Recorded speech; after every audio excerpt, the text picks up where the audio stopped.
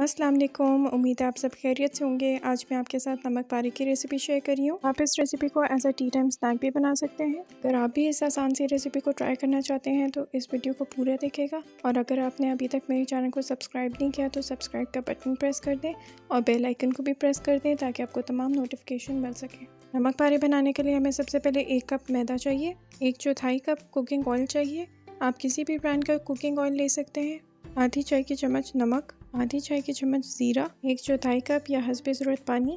नमक पारे के डो बनाने के लिए हम सबसे पहले एक बोल लेंगे। इसमें एक कप मैदा ऐड करेंगे। फिर इसमें नमक ऐड करेंगे।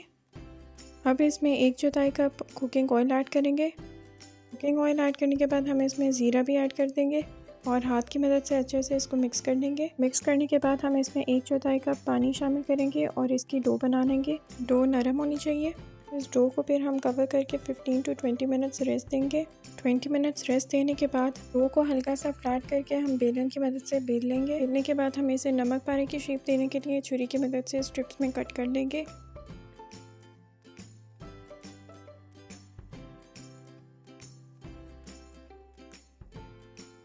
तमाम नमक पारे काटने के बाद हम इन पे मैदा स्प्रिंकल करेंगे ताकि ये आपस में जुड़े ना। मैदे में कवर किए हुए नमक पारों को हम ट्रे पे निकाल लेंगे। फिर हम एक पैन में हल्के दरमियानी आँच पे ऑयल गरम करेंगे। गरम तेल में हम तमाम नमक पारों को फ्राई करेंगे। इनको तब तक फ्राई करेंगे जब तक इन पर गोल्डन ब्राउन कलर आ जाए। फ्राई किए हुए नमक पारे हम किचन टेबल पे निकाल लेंगे। नमक पारे सर्विंग के लिए तैयार हैं। आप इसे as a tea time snack बना सकते हैं। ये बहुत ही जल्दी तैयार हो जाते हैं और बहुत ही मज़ेदार बनते हैं। एंड तक वीडियो देखने के लिए शुक्रिया। अगर आपको ये रेसिपी पसंद आई हो तो इसे लाइक और शेयर करेगा और इसी तरह की मज़ीद रेसिपीज़ के लिए मेरे चैनल को सब्सक्राइब करेगा।